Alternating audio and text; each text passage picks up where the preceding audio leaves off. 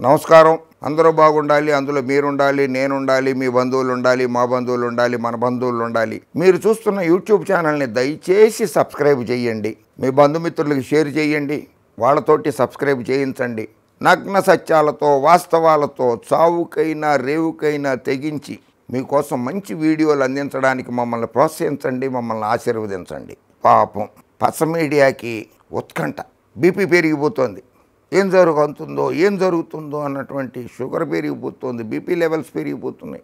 ఎంత తొందరగా అవినాష్ రెడ్డిని జైల్లోకి తోసేద్దామా అని ఎదురు చూస్తున్నారు. వాళ్ళ ఆశకి నిరాశ అవుతుంది. న్యాయస్థానాలు నీళ్ళు పోస్తున్నాయి వాళ్ళకి. న్యాయదేవతలు ఉన్నారు. వాళ్ళని చూసుకొనివ్వండి. వివేకానందరెడ్డి హత్య కేసుని న్యాయమూర్తులు తేలుస్తారు న్యాయస్థానాలు తేలుస్తాయి.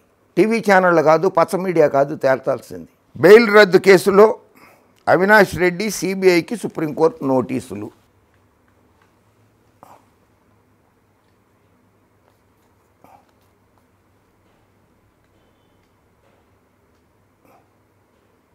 మాజీ మంత్రి వివేకానంద రెడ్డి హత్య కేసులో నిందితుడిగా ఉన్న కడప ఎంపీ వైఎస్ అవినాష్ రెడ్డికి తెలంగాణ హైకోర్టు ఇచ్చిన ముందస్తు బెయిల్ను రద్దు చేయాలని జూన్ ముప్పైతో ముగిసే సిబిఐ దర్యాప్తు గడువును పెంచాలని కోరుతూ వివేక కుమార్తె సునీత నర్రెడ్డి దాఖలు చేసిన కేసులో ప్రతివాదులైన అవినాష్ రెడ్డి సిబిఐలకు సుప్రీంకోర్టు నోటీసులు జారీ చేసింది.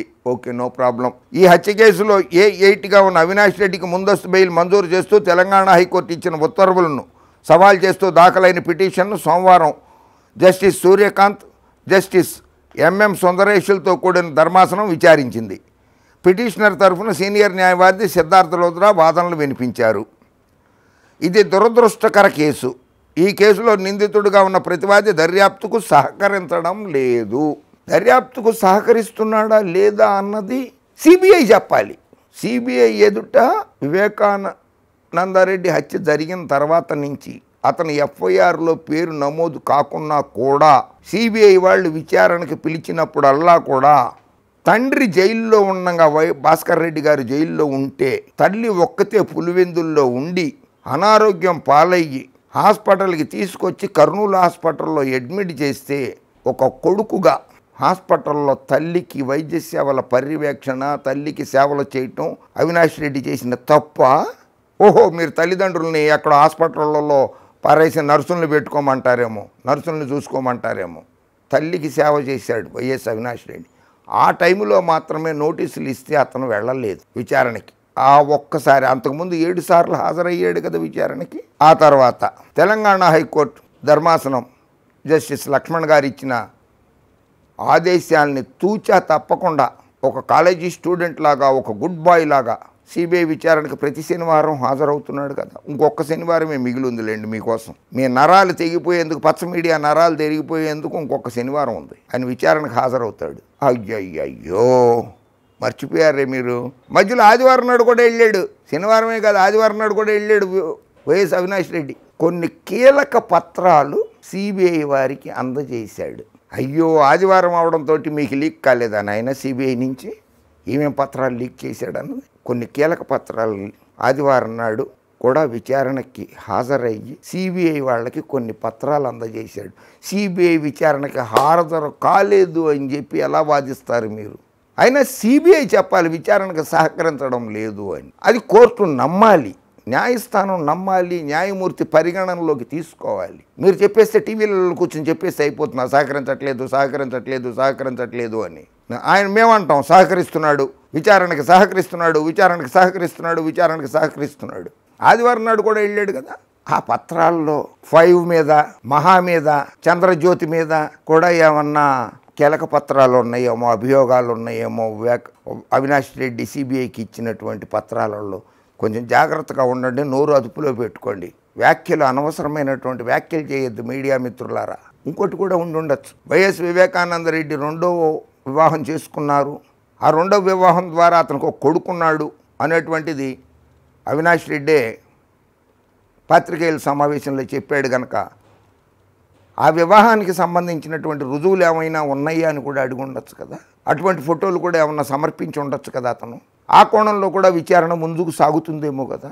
వివేకానందరెడ్డి రెండవ వివాహానికి సంబంధించినటువంటి వివరాలు తీసుకుని ఆ కోణంలో కూడా జరగచ్చు కదా. అలాగే అందులో ఈ కేసులో నిందితులుగా ఉన్న కొందరు మా తల్లి మీద కన్ను వేశాడని కూడా చెప్పారు కదా. ఆ కోణంలో కూడా దర్యాప్తు జరపచ్చు కదా? సిబిఐ వాళ్ళు తొందరపడకండి. ఆయన కస్టడీలో విచారించాల్సి ఉందని సిబిఐ స్పష్టంగా చెప్పినప్పటికీ హైకోర్టు ముందస్తు బెయిలీ ఇచ్చింది. హైకోర్టు నమ్మలేదు. హైకోర్టు పరి సిబిఐ వాదనలను పరిగణనలోకి తీసుకోలేదు. ఎందుకంటే వాళ్ళకి తెలిసిపోయింది ఏడు సార్లు హాజరయ్యాడు అని. క్రమం తప్పకుండా హాజరయ్యాడని. తల్లి ఆరోగ్యం బాగలేదు కనుక రాలేదు కానీ రెండు సార్లు మిగిలిన అన్ని సార్లు అతను హాజరయ్యాడని చెప్పి హైకోర్టు పరిగణనలోకి తీసుకున్నది. ఈ కేసు ఇదివరకు కూడా సుప్రీంకోర్టుకు వచ్చింది. తొలుత ఈ కేసు దర్యాప్తును సిబిఐకి అప్పగించ అప్పగించారు. తర్వాత ఇదే కోర్టు ఈ కేసును ట్రయల్ కోర్టును ఆంధ్రప్రదేశ్ నుంచి తెలంగాణకు బదిలీ చేస్తూ ఉత్తర్వులు ఇచ్చింది. అవును ఆ ధర్మాసనంలో జస్టిస్ ఎంఎం సుందరేష్ కూడా ఉన్నారు. తర్వాత కోర్టు ఈ కేసు దర్యాప్తునకు జూన్ ముప్పై వరకు గడువు విధించింది. ఆ తర్వాత ఈ కేసు విచారణ దురదృష్టకరంగా ఉంది అని పేర్కొన్నారు. దురదృష్టకరమే ఉంది? ఇందులో దురదృష్టకరమైంది. హత్య జరిగి నాలుగేళ్ళు అయింది మార్చి డిసెంబర్ పంతొమ్మిది మార్చి సారీ మార్చి పదిహేను రెండు వేల పంతొమ్మిదిలో జరిగింది అది మార్చి పదిహేను రెండు వేల పంతొమ్మిదిన జరిగింది వివేకానంద రెడ్డి గారి హత్య. ఇరవై ఇరవై ఒకటి ఇరవై రెండు ఇరవై మూడు నాలుగేళ్ళు దా అయిపోయింది. ఇంకా విచారణ సాగుతూనే ఉందా? కొనసాగిస్తూనే ఉంటారా? మీరు ఎవరిని కాపాడాలనుకుంటున్నారు? అసలు అది చెప్పండి. మీరు ఎవరిని కాపాడాలనుకుంటున్నారు? న్యాయమూర్తులు ఇద్దరూ చర్చించుకున్నారు. అనంతరం ప్రతివాదులుగా ఉన్న అవినాష్ రెడ్డి సిబిఐలకు నోటీసులు జారీ చేస్తున్నట్లు జస్టిస్ సూర్యకాంత్ ప్రకటించారు. తదుపరి విచారణ జూలై ఏడుకి వాయిదా వేస్తున్నట్లు చెప్పారు. జూలై ఏడో తేదీకి.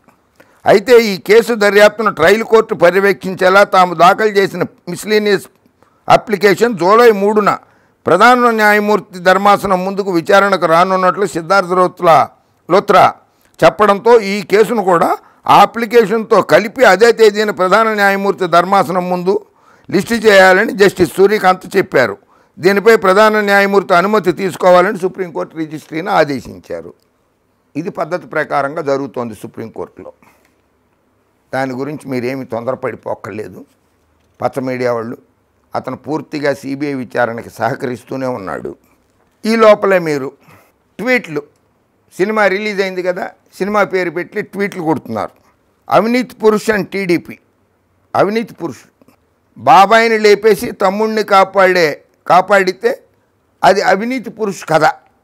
వెన్నుపోటు భాగవతం అంటూ వైసీపీ. సోషల్ మీడియాలో వైసీపీ టీడీపీ మధ్య ట్వీట్ల వారు కొనసాగుతోంది. ధర్మం కోసం అన్న వెంట నడిస్తే అది ఆది పురుష్ కథ. బాబాయిని లేపేసి తమ్ముడిని కాపాడితే అది అవినీతి పురుషు కదా అని టీడీపీ చేసిన ట్వీట్కు వైసీపీ కౌంటర్ ఇచ్చింది. ధర్మం కోసం అన్న వెంట నడిస్తే అది ఆది పురుషు కదా. అన్న వెంట ఎవరు నడిచారు?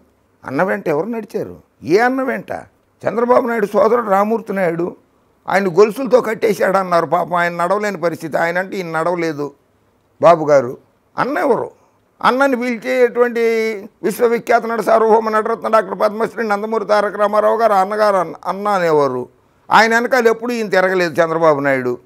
పదవి కోసం తిరిగాడు కానీ ఆయన తిరిగి చైతన్య రథంలో యాత్ర చేసినప్పుడు కానీ ప్రచారాలకు వెళ్ళినప్పుడు కానీ ఈయన తిరగలేదు.